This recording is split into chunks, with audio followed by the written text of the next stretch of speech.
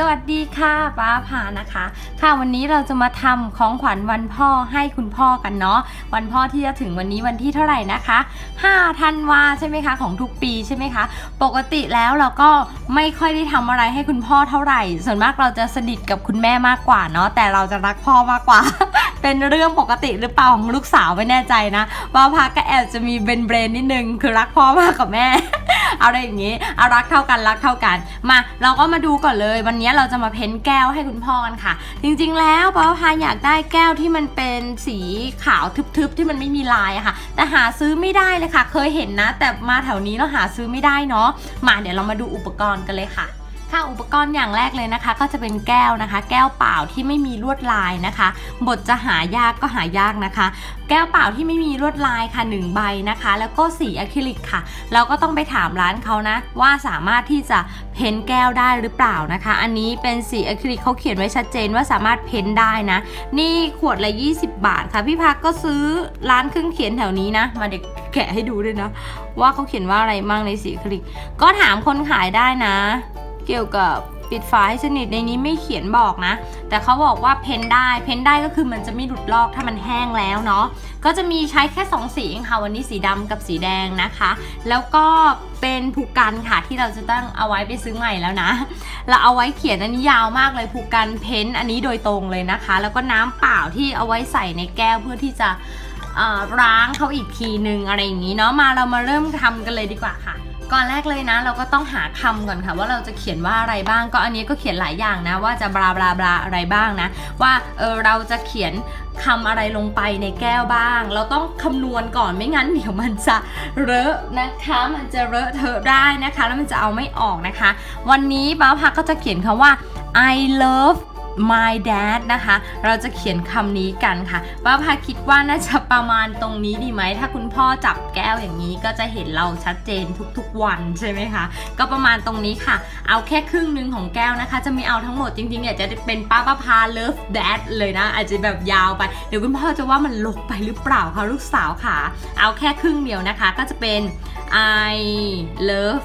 I แล้วก็เป็นหัวใจดีไหมมาเราลงด้วยแดงนะคะแล้วจะตัด ด้วยดำเรามาเริ่มเดลิกว่าค่ะ เราก็เริ่มจากสีแดงนะคะ ใช้ผูกกันนะคะ เราก็จะเขียน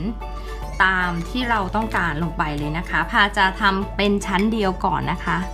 สีแดงนี่พาไม่ได้เอาออกมาใส่อีกทีนึงนะกับจานนะ เอาเพียวๆอย่างนี้เลยนะ โอ้ยจะเขียนผิดไหมเนี่ยเสียวจังเลยนะแกนะแกนะแกนะแกมาเริ่มเลย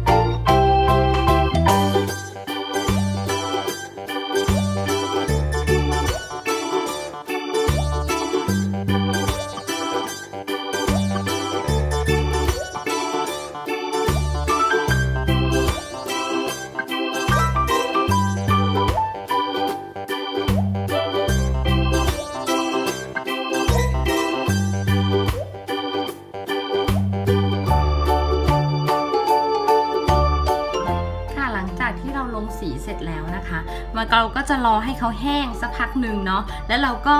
จะใส่สีดำเป็นขอบเขาเข้าไปนะคะ น่ารักอะเดี๋ยวเราจะลองไปชงให้คุณพ่อทานจริง ๆ เลยนะ เดี๋ยวรอก่อนแห้งแล้วก็เดี๋ยวลงสีดำเนาะค่ะก็พอแห้งหน่อยๆแล้วเนาะเดี๋ยวเรามาลงขอบสีดำกันเลยค่ะ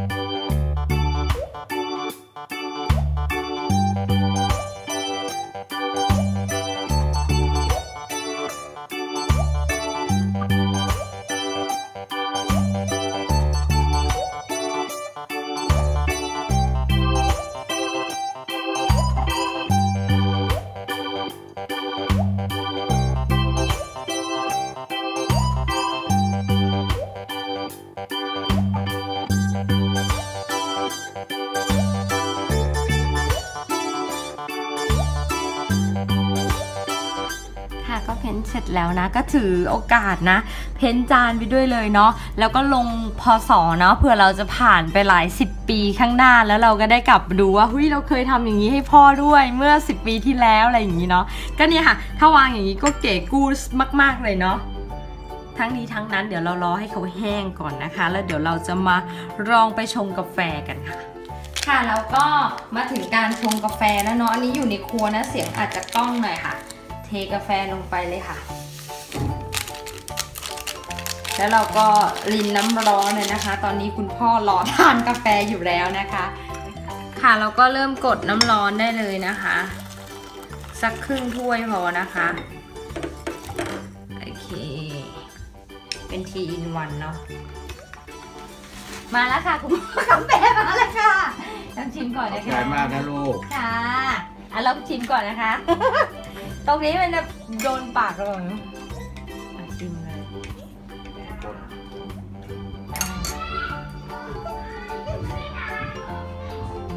ก็ต้องจับเคยกินกาแฟมือซ้ายอื้อหื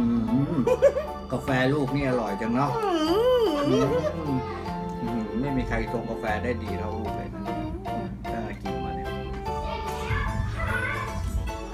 ค่ะคุณพ่อก็ทานกาแฟอยู่ข้างล่างแล้วเนาะถ้ายังไงนะคะ น้องๆคนไหนสนใจก็อย่าลืมหาของขวัญเล็กๆน้อยๆให้คุณพ่อในปีนี้นะคะ นี่ค่ะห้องก็ยังไม่ได้จัดนะคะลกนะคะห้องอัดคลิปของเรายังคง everything อยู่เลยนะยังไม่ได้จัดเลยค่ะ โอเค ถ้ายังไงคลิปนี้ป้าพาไปแล้วนะคะ ขอให้มีความสุขกับวันพ่อปีนี้นะคะบ๊ายบายจุ๊บ